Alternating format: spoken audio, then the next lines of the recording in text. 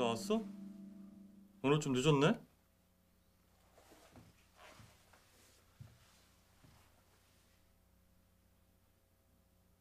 누나 나 배고픈데 우리 뭐 시켜 먹을까?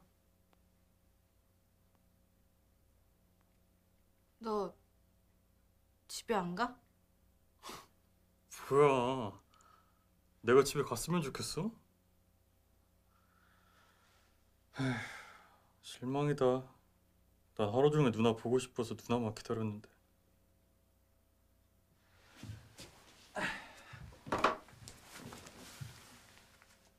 나 오늘 몸 안 좋다고 했잖아. 그래? 알겠어 되게 정숙하네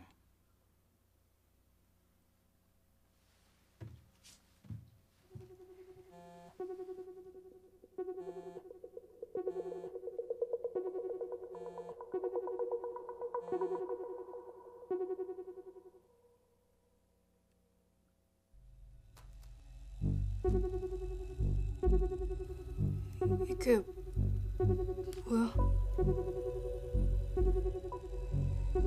아 씨발 진짜 좋아하는 척하기도 어렵다 그 순간 깨달았다. 이 아이에게 노트의 법칙이 적용되지 않았던 이유.